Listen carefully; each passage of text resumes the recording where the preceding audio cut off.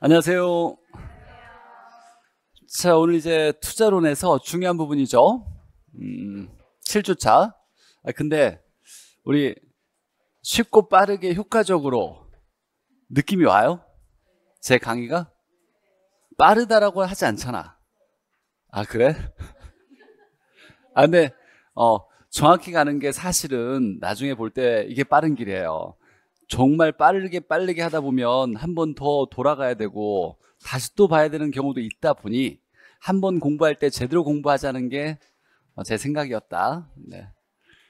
자, 보죠. 테마 29의 현금 흐름 분석. 우리가 이제 현금 흐름은 돈의 흐름이죠. 돈을 벌고 나가고 수입과 지출의 과정을 우리가 현금 흐름, 이걸 다른 말로 수지라고 얘기해요. 현금 흐름을 수지, 현금 수지. 그래서 현금 흐름은 현금 수지라고도 표현한다라는 거예요. 이때 이제 우리가 투자론 에서 영업이라는 말은 임대사업을 얘기하는 거죠. 임대사업을 해서 영업한다라고 표현하는 거예요. 임대료 수입이 들어올 거예요. 임대사업을 할 때 나가는 지출도 있겠죠. 그래서 수입과 지출의 흐름을 영업 현금 흐름, 임대료 수입의 돈의 흐름을 얘기하는 거죠. 외워야죠. 일단 소득 다섯 개가 가능 총소득, 유효 총소득, 순영업소득, 세전소득, 세후소득. 그래서 가유, 순전후. 이 전체 흐름을 연결시키면 가공기, 유비, 순부채, 전세후 이렇게 외워야 되고 자 가능 총소득은 말 그대로 이 총자를 조자라고도 해요. 가능 조소득, 가능 총소득이라고 했을 때 임대료를 모두 100% 받을 수 있다고 가정했을 때의 수입을 가능 총소득이라 그래요. 실제일까요? 가정일까요? 가정이죠. 우리가 내가 임대 호 수가 100, 10개가 있다고 했을 때 하나당 임, 1년 임대료가 말이 없으면 기간을 1년을 잡는 거예요. 500만 원 잡는다고 해보죠. 그러면 10개 있으면 임대료로 총 벌 수 있는 총소득이 5천만 원이죠. 10개 하나당 500만 원이니까 1년에 5천만 원을 무조건 벌 수가 있다 없다. 없을 거예요. 현실적으로 거의 불가능하죠. 그러니까 가정되었을 때 이론적으로 가정된 가능 총소득을 얘기하고 얘를 구하는 건 임대 호수에다가 임대 호수가 10개 있다. 그러면 호수당 임대료가 있겠죠. 호수당 임대료를 곱해서 말이 없으면 기간은 1년을 얘기하는 거죠. 이제 이론상 100% 임대되었을 때 벌 수 있는 총소득. 여기에 이제 공실도 있을 거예요. 임대가 안 나가서 공실액이 있을 거고 불량부채는 회수 불가능한 임대료를 불량부채라 그래요. 임대는 됐지만 돈 안 내고 도망가는 사람도 있고 안 받는 임대료도 있을 거예요. 회수 불가능한 임대료를 불량부채라고 얘기하고 기타 수입 여기 보니까 영업 외적인 수입이라고 나왔어요. 그럼 영업이라는 건 임대사업이니까 임대료가 아닌 다른 수입을 얘기하는 거죠. 그러니까 임대사업 할 때 자판기 놓고 수입 벌 수도 있고 주차장 유료로 해서 돈 벌 수도 있으니까 이걸 더해서 실제 가능한 실제를 얘기하는 거예요. 유효 총소득이라고 얘기해요. 자, 이건 가정대인 거고 이건 실제를 얘기한다고 생각하면 돼요. 유효 총소득이 나오고 여기 이제 영업이라는 건 운영을 얘기하는 거죠. 그래서 얘를 다른 말로 운영 비용이라고도 해요. 임대사업 할 때 나가는 비용이 있겠죠. 여러 가지가 있을 건데 가장 대표적인 영업할 때 경비, 지출 비용은 유지수선비예요. 즉 고장 나거나 하면 고치거나 할 때 유지하거나 수선비가 가장 많이 들어갈 거고 여기 이제 들어갈 수 있는 것들을 조금 고민해 보면 세금 내야 돼요. 세금 내야죠. 재산세 내야 될까요? 화재보험 들어야 돼요. 임대사업자는 무조건 화재보험을 들어야 돼요. 그럼 보험료, 그 다음에 유지수선비, 그 다음에 재산세 내야 되겠죠. 그 다음에 이제 우리가 어, 수도료, 전기료, 가스료 같은 거 있죠. 이것들은 이제 외국에서는 유틸리티비라고 해요. 이런 것도 낼 거고 그 다음에 임차인을 계속 구하려면 광고도 해야 되겠죠. 광고료 같은 것도 들어갈 거예요. 이렇게 영업 경비, 운영 비용이 들어갈 거고 자 위에서 영업 경비를 빼면 순수한 임대료 수입을 얘기해요. 순수한 얘가 순수한 영업이라는 건 임대 사업을 얘기하니까 순수한 임대료 소득을 순영업소득 줄여서 순소득이라고 얘기해요. 자, 그러니까 실제 가능한 유효 총소득에서 임대 사업을 할 때 실제 들어간 직접 연관된 지출을 빼면 순수한 임대료 수입이 나오겠죠. 야, 그럼 임대료 얼마 벌었어? 라고 얘기할 때 가장 기본적으로 쓰는 건 뭐예요? 순이에요. 어, 순수하게 임대료 수입 영화금 남았어 라고 얘기하는 것이 대표소득을 순소득 쓰는 거죠. 순영업소득. 자, 이걸 좀 더 영업 현금 흐름을 구체적으로 얘기할 때 남의 돈을 가지고서 레버리지를 활용해서 투자했을 수도 있을 거예요. 자, 그러면 갚아 나가는 돈이 있겠죠. 여기서 중요한 건 아무 말이 없는 전제 조건에서 우리가 돈을 빌려서 갚을 때의 상환액은 뭘로 가정한다? 원리금을 얘기하는 거예요. 이자만 갚는 건 안 배워요. 원금과 이자가 합쳐진 원리금을 상환하는 거예요. 그래서 여기서 이제 남의 돈을 빌렸을 때 원리금을 1년 동안 갚는 걸 우리가 부채 서비스액이라고 하고 얘가 우리 투자론에서 가장 중요한 단어예요. 원리금.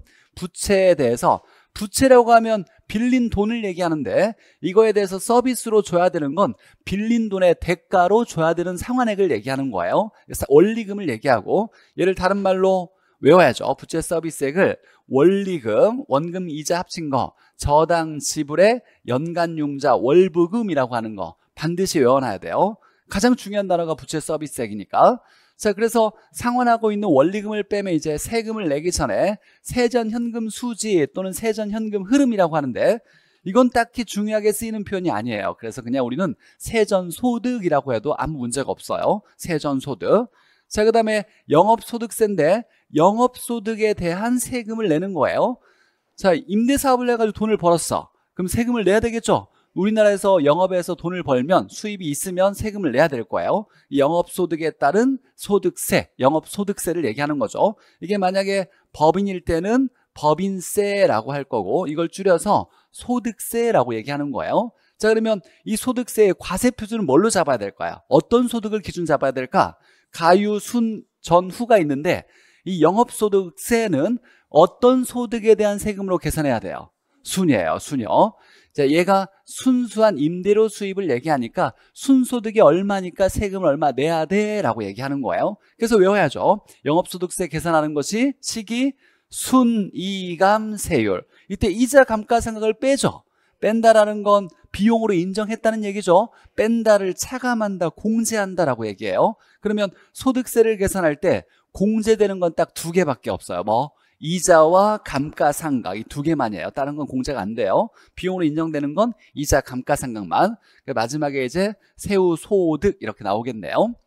다섯 가지 소득이 가유 순전후 이렇게 외울 거고 이제 내가 내려갈 때 가공기 하면 유가 얻어지고 유비 하면 순, 순부채 전, 전세 후 이렇게 되겠네요. 자 여기서 이제 독특한 과목 우리 잠깐 정리해 보면 이제 기본적으로 다 대부분 다 외웠을 거니까 금융 조건이라고 있어요. 금융 조건. 금융이라는 건 자금을 융통하는 과정이죠. 대표적인 얘기는 대출이잖아요. 금융 조건과 관련돼 있는 지출 비용은 뭘까요? 얘가 이제 지출과 관련된 내용이에요. 얘는 이제 소득의 이름이었고 그러면 공실 및 불량 부채, 기타 소득, 영업 경비, 부채 서비스액, 세금이잖아요. 그러면 금융 조건과 관련된 건 뭐? 부채 서비스액이죠. 얘가 금융 조건과 관련돼 있어요. 자, 금융 조건이라는 건 대출 받을 때 이자율을 얼마로 했겠냐라는 것들을 얘기하는 거예요. 돈을 얼마 빌려서 금융 조건이 어떻게 달라짐에 따라서 달라지는 지출은 부채 서비스액이에요. 자, 그럼 여기서 이제 중요한 거. 가유순까지는 보니까 자, 가유순은 아직 부채 서비스액이 관여되지 않았죠. 순에서 부채 서비스 빼야 세전 넘어가는 거잖아요. 그러면 가유 순까지는 금융 조건에 따라서 소득의 크기가 달라지지 않는다가 기본이에요. 특히 이제 순이 중요하죠. 순은 돈을 많이 빌렸냐 안 빌렸냐에 따라서 소득의 크기가 달라지는 게 아니에요. 금융 조건은 부채 서비스액을 얘기하는 거니까 즉 돈을 많이 빌렸냐 이자율이 얼마나 크냐 이거에 따라 달라지는 소득은 세전부터예요. 세전, 세후 이렇게 돼야 되고 자, 그 다음에 또 하나 얘기할 때 감가상각은 딱 한 군데에만 들어가요. 감가상각이 들어가서 뭔가 달라지게 하는 오른쪽에 있는 비용, 지출과 관련된 건 딱 한가, 하나, 뭐예요? 세요, 세. 영업소득세죠. 다른 데는 감가상각과 아무 관련이 없어요. 여기에 감가상각 없고 영업경비에 감가상각 포함된다, 안 된다? 안 돼요. 영업경비와 감가상각 아무 관련이 없어요. 부채 서비스액 상관없고 그래서 감가상각이 반영된 것은 세금이에요. 소득세, 영업소득세. 그럼 이제 가유순전후 중에서 감가상각을 반영해서 구한 소득이 뭐냐 그러면 뭐밖에 없어요. 세후밖에 없어요. 그래서 세후를 얘기할 때 이렇게도 얘기할 수 있겠네요. 유일하게 감가상각이 감가상각이 반영된 반영된 소득이 뭐냐 그러면 세후밖에 없는 거예요. 그래서 이 내용에서 조금 더 깊게 이해하자면 첫 번째 금융 조건과 관련된 건 부채 서비스액이에요. 그래서 금융 조건이 반영되어서 구해진 소득은 세전 세후부터고 순까지는 관련이 없어요. 그러니까 돈을 많이 빌렸다고 순소득의 크기는 작아질 것이다. 예를 들면 대부 비율이 커질수록 돈을 많이 빌릴수록 순소득의 크기는 작아질 것이다. 맞아요, 틀려요? 틀려요. 아무 관련이 없어요. 돈 빌린 것과 관련이 없다라는 얘기예요. 자, 그래서 기본적으로 감가상각 반영된 건 세후, 그 다음에 금융조건 반영된 건 세전과 세후 이 두 가지다라는 거예요. 자, 이때 기본적으로 부채 서비스액은 무조건 이 용어는 외워놔야 돼. 이거 외우지도 않고 투자론 공부한다는 건 말도 안 되고 이미 우리가 빌린 돈을 얘기할 때 대부액, 대출액, 융자액, 차입액 두 글자 부채, 타인 자본 얘기할 때 이건 당연히 외워야 되는 용어이듯이 부채 서비스도 외워야 되고 자 전체를 봤을 때 우리가 이제 산식을 좀 나눠보죠. 우리가 가능 총소득을 구하는 건 임대 단위 수에다가 단위당 임대를 구하면 이건 1년 기준을 잡고 얘기하는 거예요. 그러면 임대 단위가 10개다. 그러면 하나당 500만 원 벌면 임대료로 벌 수 있는 100% 임대되었다고 가정했을 때 벌 수 있는 소익은 5천만 원. 이걸 가능 총소득, 가능 조소득이라고 얘기하고 자, 유를 구하려면 가공기에서 유를 구하겠죠. 가에다가 공실 및 불량부채 기타 소득을 더해서 유를 구하고 자, 중요한 건 3번과 4번이죠. 3번, 4번. 가장 중요한 건 4번. 자, 순을 구하려면 유에서 영업경비 빼줘야 돼요. 유비순 해서 이렇게 나오고 세전을 구하려면 순부채전이에요. 순부채전. 세전 구하는 거고 이제 세후를 구하려면 전세후 이렇게 되죠. 자, 그럼 여기서 중요한 거 영업 경비가 중요해요. 얘는 어떤 소득을 구할 때 쓰는 거냐라고 얘기할 때 이 지출은 뭘 구할 때? 순을 구할 때예요. 그러니까 영업 경비가 중요한 이유는 순을 구하는 데 직접적으로 관련됐기 때문이고 자 부채 서비스액이 중요한데 얘는 뭘 구할 때 중요한 거예요. 세전이에요. 그래서 독립적으로 이 두 개는 별도로 기억해 놔야 돼요. 유비 순이니까 영업 경비는 순을 구할 때 반드시 필요한 항목이다 라고 생각해야 되고 순부채 전이니까 부채 서비스액은 세전을 구할 때 반드시 쓰는 거야. 부채 서비스액은 세전 구할 때 쓰는 거. 영업 경비는 순을 구할 때 쓰는 거예요. 그래서 이 두 개의 식이 가장 중요하다. 출제자가 이 다섯 개 중에서 하나를 응용, 하겠다 그럼 무조건 뭐예요? 4번이에요. 순부채전. 이건 응용 지문이 나올 때마다 무조건 떠올려야 되는 거 순부채전이에요. 자 그러면 이거에서 한번 잠깐 응용해 보죠. 순부채전. 그럼 부채 서비스 넘길 수도 있잖아요. 그러면 순에다 부채 서비스 빼면 세전이죠. 그럼 넘기면 수는 세전에다가 뭘 더하면 부채 서비스액을 더해서도 구할 수가 있어요. 그래서 여기서 나오는 내용이 이런 거예요. 만약에 순이 필요해. 순을 알아야 돼. 순을 안 주고 얘와 얘를 주면 되겠네. 얘가 40이고 얘가 만약에 60이다 이렇게 나왔어요. 자 그러면 순은 얼마예요? 100이죠. 순을 알아야 될 때 순을 안 주고 얘와 얘를 줄 수 있어요. 만약에 세전을 알아야 되는데 세전을 안 주고 순이 100이다. 부채 서비스 40이다. 그럼 얘는 얼마? 60이라고 할 수 있을 거예요. 부채 서비스액을 구하는 문제가 가장 중요해요. 얘를 알아야 되는데 얘를 알아야 되는데 순과 세전만 줬어. 얘가 100인데 얘가 60이래. 그럼 부채 서비스 얼마? 40이겠네요. 얘를 알아야 되는 게 뭐냐면 이제 부채 서비스 원리금 들어가 있는 식을 관련된 거 한번 머릿속에 떠올려 봐요. 저당 상수가 엄청 중요했어요. 지난주에. 저당 상수 들어간 식이 뭐예요? 뭐로부터? 대출액으로부터 뭘 구하는 거예요? 원리금을 구하는 거죠. 얘가 연금이 돼야 된다 그랬어요. 그러면 원리금을 갚아 나갈 때 매번 원리금이 똑같아야 될 거 아니에요. 그럼 무슨 방식에서만 무슨 방식? 원리금 균등 상환 방식이죠. 균등 방식에서만 쓸 수 있다 그랬어요.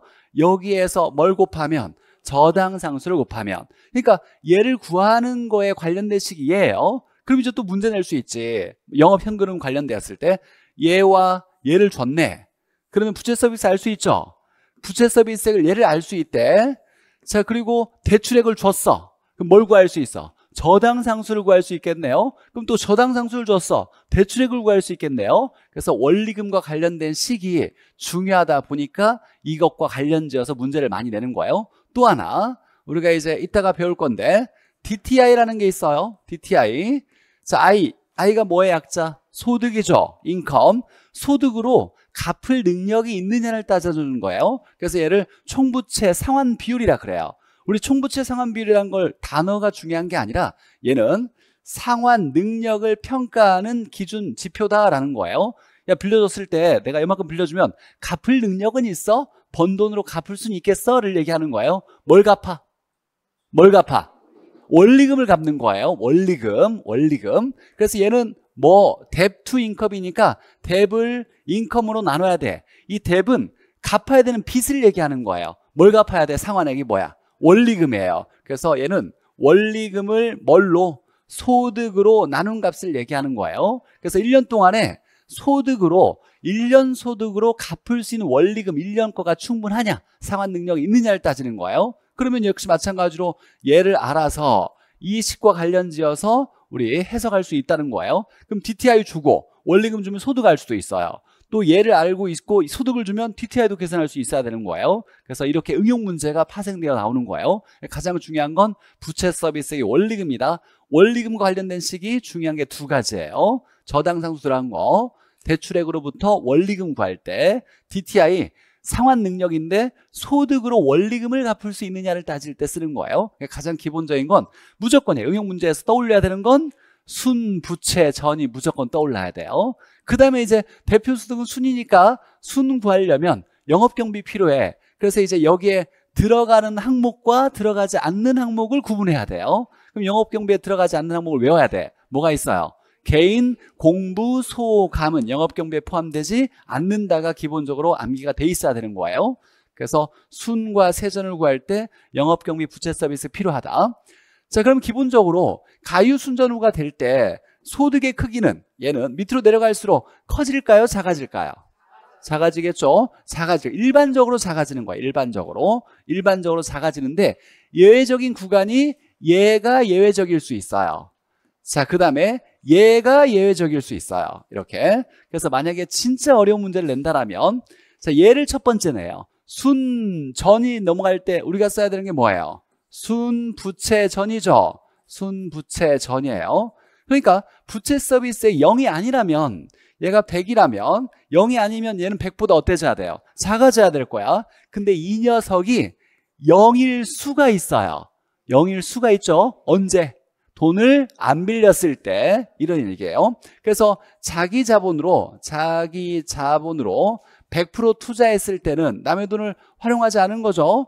자, 그래서 이 지문 나올 때 생각해야 될 것이 그럼 레버리지를 활용하지 않았다는 거잖아요. 그럼 레버리지 효과는 나타나지 않는다. 돈을 안 빌렸으니까 금융 위험도 모두 제거할 수 있다. 이 두 가지에다가 하나 더.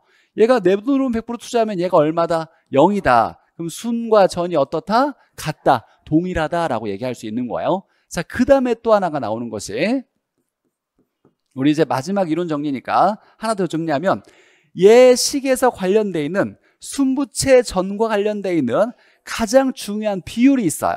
우리 학계론에서 가장 중요한 비율 뭐예요? 부채 감당률이에요. 부채 감당률. 자, 부채 감당률 한번 보죠. 이따가 다시 정리하긴 하겠지만 부채를 감당할 수 있느냐라고 얘기하는 거죠. 근데 이때 부채를 감당하는 건 부채가 아니라 우리 갚아야 되는 돈은 뭐야? 원리금이죠. 부채 서비스액을 감당할 수 있느냐를 얘기하는 거예요. 무슨 소득으로? 순으로. 야, 번 임대료 순으로 부채 서비스액 갚을 수 있어 라고 하면서 얘가 부채 서비스액 분의 순 이렇게 쓰는 거죠. 이렇게 쓸 거예요. 그럼 만약에 얘가 1이라면 이라고 나왔어. 1이라고 한다면 1. 그러면 얘와 얘가 어때요? 같다는 얘기네. 얘가 100이면 얘도 100이란 얘기죠. 그럼 부채 감당률이 1이라고 한다면 여기 이 두 개가 여기 들어가 있는 식이에요. 그럼 얘하고 얘가 어떻다? 같다. 그럼 세전 얼마다? 0이다 라고 얘기할 수 있는 거예요. 그래서 가장 중요한 것이 여기 관련된 식에 순부채 전과 관련돼 있어요. 순부채 전. 기본적으로 부채 서비스의 원리금이 언제 등장하냐? 저당상수 관련된 식. 대출액으로부터 원리금 구할 때 저당상수 곱한다. 그 다음에 DTI. DTI는 소득분의 원리금. 그래서 부채 서비스액을 묻고자 할 때는 그 두 개 관련된 식을 응용할 거고 기본적으로 비율과 관련되어서 중요한 건 부채 감당률이니까 얘와 관련된 식이 부채 서비스의 순이에요. 그럼 얘 두 개가 들어가는 식이 뭐다? 순부채전. 나올 건 이거 하나밖에 없어요. 1일 때. 1이라면 얘가 1이면 얘와 얘가 어떻다? 같다. 같다라면 얘는 얼마다? 0이다. 이렇게 해석하는 거예요. 이거 관련되어 있는 것들이 다 순부채 전부터 비롯되는 거고. 자, 일반적으로 다 작아져요. 작아지는데 가에서 유로 갈 때 더하는 게 하나 있잖아요. 맞죠? 공실 및 불량 부채가 만약에 10원이야. 근데 기타 소득이 20원이야. 그럼 10원 빼고 20원 더 해야 되잖아요. 그러면 가에서 유로 갈 때 작아져야 돼, 커져야 돼. 커질 수도 있는 경우가 있는 거예요. 근데 일반적으로는 그러진 않아. 공실 및 불량 부채가 당연히 기타 소득보다 클 얘가 더 큰 경우는 거의 없어요. 그러나 예외적으로 출제가 어거지로 문제를 낸다라면 공실 및 불량 부채가 10원인데 기타 소득이 엄청 많이 번 거예요. 주차장비로 막 엄청 돈을 많이 벌었다고 친다라면 10 빼고 20 더하는 거잖아요. 그럼 여기서 10이 더해져야 되잖아. 커지는 경우도 있을 수 있다라는 거예요. 예외적으로. 여기 딱 더하는 게 하나가 있기 때문이에요. 일반적으로 작아지는 게 전체 흐름이지만 이 과정에서는 같을 수도 있고 세전이 0일 수도 있다. 이런 과정이 여기서 특이하게 나오는 거고 얘는 커지는 경우도 있을 수도 있더라. 더하는 게 하나 있다 보니까 여기까지 해석하고 지문 나오면 방금 들었던 걸 이걸 지금 외우라고 한 게 아니에요. 아 이런 경우도 있겠네라고 생각했다가 지문 나오면 연관되어서 추적하면 충분히 해석되는 것들이에요. 다 나중에 이제 응용 문제를 한번 볼 거.